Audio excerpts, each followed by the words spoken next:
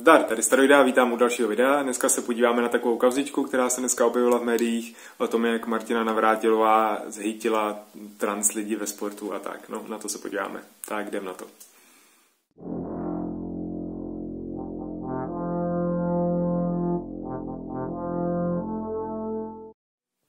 Nejdřív trochu do vysvětlení pro moje diváky, jak jsem psal na Facebooku, neumřel jsem na spalničky, ale jsem furt doma eh, v karanténě. Eh, teďka je rodinka venku, tak já mám čas točit ne v koupelně, ale tady trošku někde jinde, takže to snad bude trochu příjemnější na oko.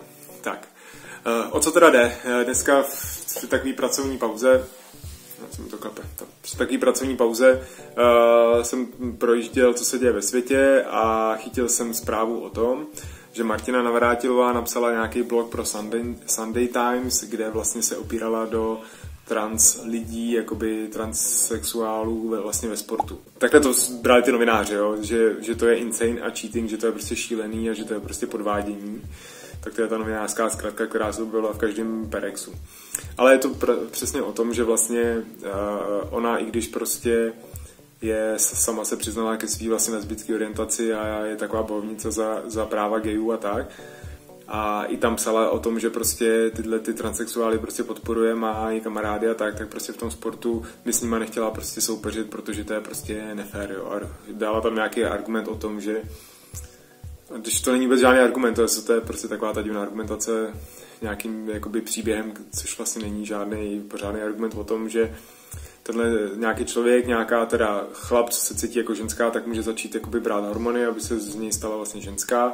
A pak se to zase rozmyslí a vrátí se k tomu zpátky, nebo obráceně ženská bude brát hormony, eh, aby se z ní stal chlap. A pak se to zase rozmyslí a zase z ní bude ženská, že to je prostě, že to je takovýhle jakoby neurčitý a dá se to v čase měnit, jo, protože to, jak to teďka probíhá v tom sportu, je, že jsou tam ty sportovci, eh, je jim dovoleno takhle soutěžit, i třeba v ženské soutěži, vlastně transsexuálům, co jsou teďka ženy a předtím byly chlapy, tak jim dovolený soutěžit, když projdou nějakou hormonální terapii a tak.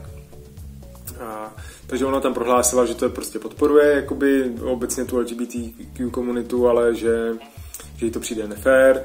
A zmiňovala tam příklad nějaký cyklistky Rachel McKinnon, uh, respektive v těch článcích byla nějaká jakoby přestřelka mezi nima, že dávala tuhle tu za příklad, která i když prostě třeba bere ty hormony, a čili má podle těch norem má tu uh, hladinu toho testosteronu prostě nějakou nižší, tak, tak stejně prostě není vidět, jakou má prostě velkou postavu a muskulaturu prostě mužskou a už tím získává prostě nějakou výhodu a je to prostě je to prostě nefér.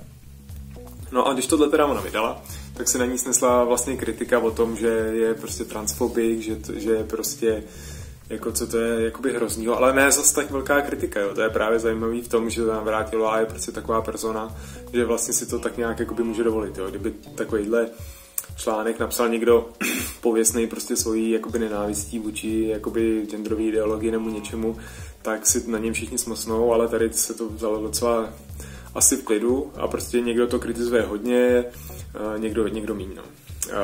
A jsou tam zase nějaký protiargumenty, které jsou taky ale jakoby praštěný, jo. Tam někdo, to, co tam bylo v tom článku, jo, že když teda tyhle ty transsexuální ženy, vlastně bývalí chlapy, když mají takovou obrovskou výhru, tak jak to, že nevyhrávají vlastně všechny závody, že jo. A tohle tam je zase položený jako argument, který je taky úplně hovacký, protože prostě i když uh, protože za prvý to neprobíhá tak dlouho, tahle tolerance, i když je to už od roku 2003 vlastně. Jo, nevím, v jakém rozsahu.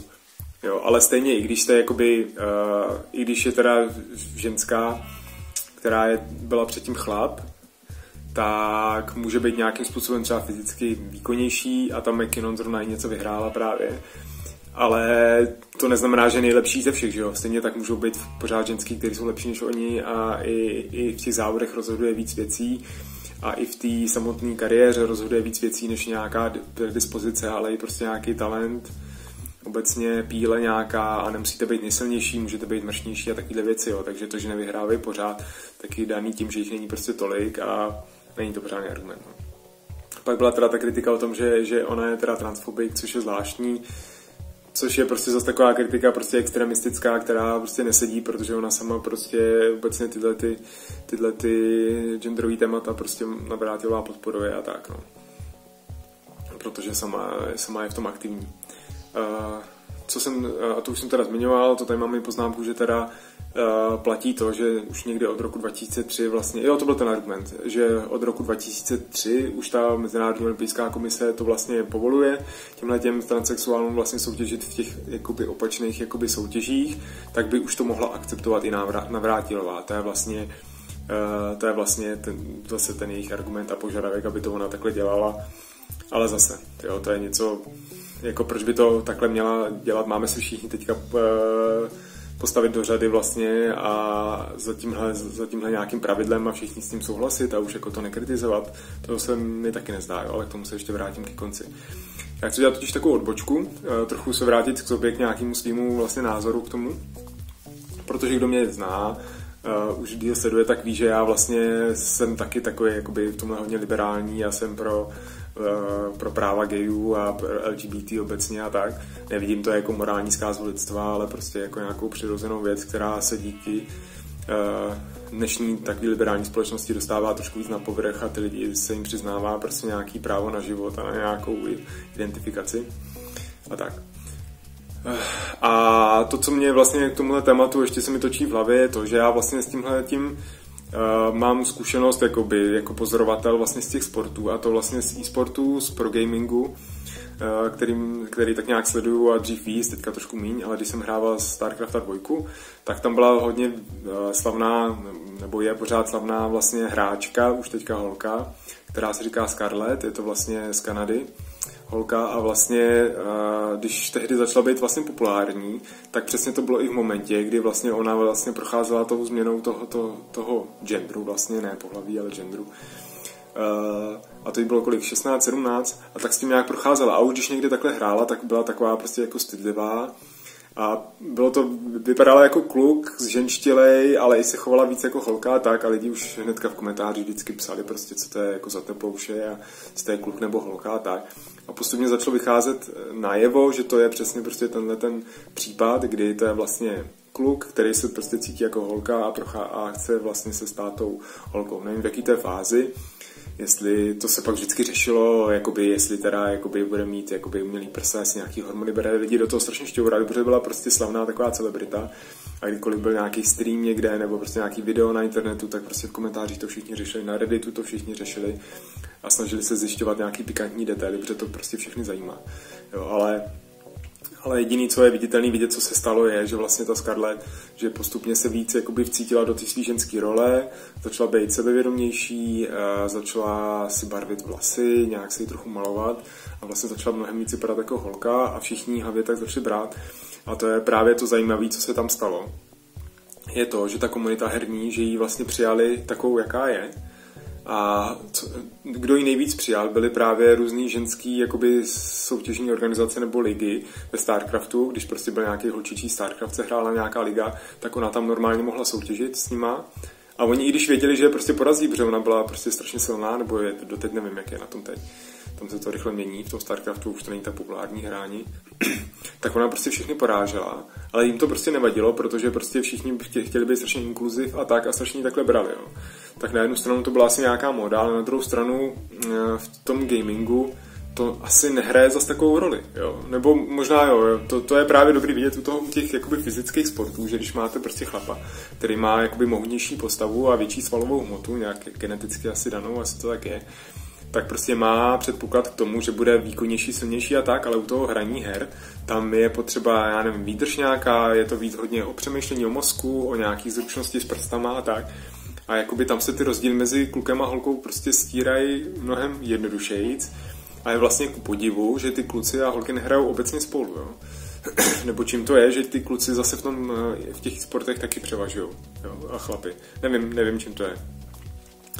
Eh, ale prostě u ní se to tolerovalo a zároveň to byl i silný příběh, protože ona byla strašně dobrá, nebo je, že dokázala porážet i Korejce a zároveň i hrála i, i v mužských jako ligách, i v těch ženských, jo. Že do těch ženských ji právě brali spíš kvůli té inkluzi nějaký a že chtěli to takhle dělat a chtěli ji podpořit a chtěli vlastně otevřít ty témata.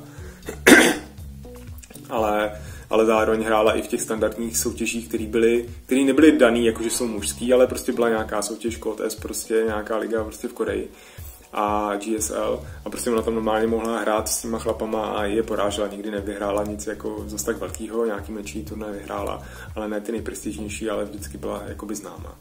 A tam se mi právě líbilo ten příběh, že dopadl vlastně jakoby takhle pěkně a tam jakoby to spojení tohodle, nebo ten průnik vlastně těch transsexuálů do těch jakoby bývalých kluků a teďka holek do toho mužského, ženského sportu proběh mnohem hladčejc.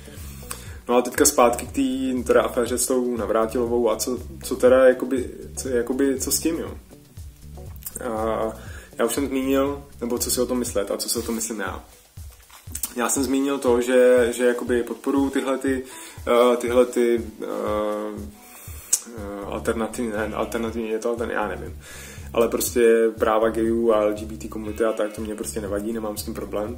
Uh, takže tohle jakoby podporuju, ale zase nepodporuju uh, nějaký důraz prostě fakt na vyloženě ideologii, na nějaký tlačení prostě nějaký agendy dopředu, kam to až nepatří, uh, nepodporuju prostě nějaký fanatismus a nějakou prostě rage culture, něco, kde prostě se vstekáme na všechny, co nás nepodporují a že prostě obvinujeme hnedka všechny, že jsou prostě homofobní a transfobní, jako obvinil někdo tu navrátilo, tak to prostě jakoby neplatí. Nemůžeme se přece divit nikomu, kdo i třeba z nějakého konzervativního hlediska z toho s tím má problém, anebo prostě má na to jiný názor, tak by prostě ta diskuze o tom měla být jakoby v pohodě a i by se to nemělo tlačit nějak jakoby na sílu, jako i v podobě nějakých kvót nebo něčeho takového. I to řešení vlastně v rámci té atletiky, že stačí, když máte nějakou jakoby hladinu hormonů, tak už jako soutěžit můžete, tak je to takový umělohmotný na sílu a nejde, nejde se divit, že to někomu prostě vidí a hnedka všechny nálepkovat, že to jsou prostě homofobové, to prostě je špatně a to vůbec ničemu nepomůže.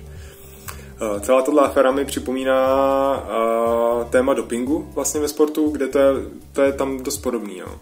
Že vlastně Tady řešíme to, co je přirozený pro ten sport, jestli je přirozený být prostě chlap standardní a standardní ženská, a, a stejně tak se řeší přirozenost toho, co, jak ty sportovci můžou být vyživovaný ať už, a jak můžou brát i třeba nějaký doping a tím být jako výkonnější. Jo? Že když budete, když si dáte cukr, tak máte víc energie, ale když si dáte, já nevím, nějakou, nějaký aderal, když zase připomenu ty sporty, tak máte jako výkonnější mozek, ale už to je prostě nějaká zakázaná látka. A celý ten doping je taky takhle vlastně regulovaný. A, a jakoby hledá se, hledá se prostě co s tím. Jo. A tady já třeba souhlasím, nebo tady se mi líbí ta myšlenka, co, co o čem mluvil vždycky Hnízdil, známý doktor, který byl i jakoby lékař těch sportovců. Že by prostě bylo asi ideální mít prostě jakoby dvě sportovní odvětví, v jednom tom odvětví legalizovat cokoliv, legalizovat veškerý doping, veškerý, já nevím, třeba tělesný úpravy, implantáty, nějaký prostě uh, brutální věci a v tom jakoby soutěžit, bylo by to trošku jak nějaká Formule 1, kde, se, kde soutěží ty stáje mezi sebou a spíš ty technologie, než samotní řidiči. A pak mít ale jakoby zase to sportovní odvětví, kde prostě je to přirozený úplně co nejvíc to jde. Jo, da, tohle je dobrý příklad třeba v kulturistice, kde prostě to využívání steroidů a tak je takový jako veřejný tajemství, že to tam prostě jakoby probíhá. A toleruje se to, prostě se to netestuje, takže ty, ty sportovci to berou, protože to je v rámci, je to vlastně za účelem toho, že fakt chtějí mít nějaký ty vypracované těla a dosáhnout jakoby nějaký týhletý prostě krásy, když to řeknu, nebo nějaký kvality. A je celkem jedno, jak se toho dosáhne, protože prostě jde o ten finální jakoby výsledek a tak nějak se to jakoby toleruje. Ale jsou zase jakoby kulturistické soutěže, kde, kde se tohle řeší a je to prostě takhle pure. A jsou vyloženě kulturisti, který, který to absolutně odmítají a jdou to takhle jakoby čistě a mají v tom i svý vlastní jako soutěže. Takže tam to, tohle rozdělení na dva proudy jakoby funguje. Jenže i když teda by se to rozdělilo na ty dva proudy, na ten přirozený a na ten dopingový, tak stejně i v tom přirozeném, jakoby v té přirozené sféře toho sportu, kde budou všichni jenom přírodní a budou tam jen chlapi ženský, nebudou tam žádný jakoby transsexuálové třeba, tak stejně se zase ale pak stane někdy to, že tam prostě přijde nějaký jedinec, který je prostě tak fyzicky jako nadaný, jako by Usain Bolt nebo já nevím, Mike Tyson a prostě tyhle legendární prostě atleti, který prostě vyrostli tak, že prostě předčili ve všechny v té své generaci a to už, je, to už je taky něco, co je tak, takový, trochu nefér. Můžeme si říct, je to přirozený, protože takhle jakoby je narozený, ale prostě už je to tak jako nefér, že, že, že už se nad tím dá taky polemizovat a, a nakonec vždycky bude asi někdo jako nespokojený a tímhle se to nevyřeší. No. uh, celkově to teda ještě zhodnotím tak, že je fajn, že tohle téma vynesla uh, ta Martina Navrátilová, která je prostě hodně respektovaná a je to vlastně sama je prostě teda lesba a bojuje za ty práva gayů a tak. Takže od ní to zní prostě věrohodně a strašně těžko se to hejtuje a to je prostě, to je dobrý, jo, protože prostě tohle je tak strašně jednoduchý prostě skritizovat ze strany těch aktivistů genderových a LGBT, tak stejně tak se snadno dá kritizovat prostě celý ten gender a tak ze stran těch, já nevím, konzervativců nebo nějakých klasických takových hejtrů. A už to sklouzává pak jen do toho překřikování a, a nesmyslných prostě debat, který k ničemu nevedou. Takže od tým navrátilový to podle mě zarezonuje mnohem líp. Ale jako k žádnému výsledku to asi nepovede, protože ty pravidla jsou nastavený. Jo. To je právě to, co je asi takovým tím východiskem, který teďka prostě aplikuje, se je to, že prostě jsou nastaveny nějaký pravidla, nějaký umělohmotný, jako je to od roku 2003, že když máte nějakou nízkou hladinu hormonů, tak soutěžit můžete. Tak se nastaví tohle pravidlo a podle kterého se pojede. Prostě je to soutěž nějaká podle nějakých pravidel, tak ty se prostě nastaví a ty lidi se nad nimi musí shodnout a jakým způsobem je respektovat, jinak se prostě soutěžit ani pak nedá. Jo. Ale zase platí, že rozhodně by se mělo prostě dovolit to kritizovat, bavit se o tom a třeba to posouvat někam dál. Jo. Ta diskuze prostě e, doteď nekončí o tom a uvidíme, jak to bude třeba za pár let. Fakt už doping bude legální a budou legální nějaké implantáty a tak. Podle mě by to nemuselo být zase tak jako špatný Eh, z hlediska toho, že chcem posunovat nějaký výkony, samozřejmě to je špatný z hlediska třeba toho, že si lidi pak ničí zdraví, no, ale to už, je, to už je spíš na nich. Já bych to prostě nikomu nezakazoval, když si někdo chce takhle eh, měnit tělo, ať se to týká transexuálů nebo prostě lidí, co dopujou, tak je to prostě jejich volba a ne, není důvod jim v tom prostě nějak zásadně bránit. Takže jo, to je všechno. Chtěl jsem to video mít kratší, nepovedlo se to, to se mně nikdy nepovede. nepovede. Eh, napište mi do komentáře, co si o tom myslíte, jestli, jestli byste podp- jestli podporujete tyhle transexuální lidi vlastně v těch ligách těch toho druhého pohlaví a jak s tím pracovat.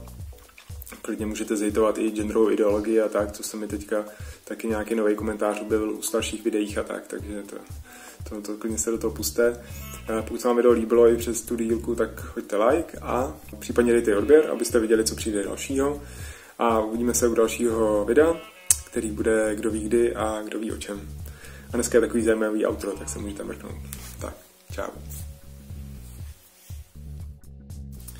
Tak, dneska se rozehřeju trochu na outro nejdřív, protože jsem chtěl v něm říct to, jak je to teďka s tím mým natáčením. Ono to vypadá, že netočím skoro vůbec, eh, což je pravda, to nevím, že to tak vypadá, ale jde hlavně o to, že to neznamená, že jsem nějak konč, skončil nebo chci skončit, i když se mnou se to může každý den změnit.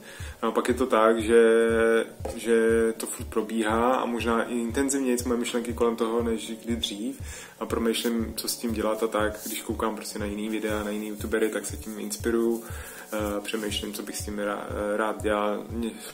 S pár lidma, má, se dvěma jsem to už probíral, tak možná někdo trochu tuší, ale, ale nic slíbit nemůžu, protože prostě to furt pro mě bude takový nenásilný, tak jako to bylo vždycky.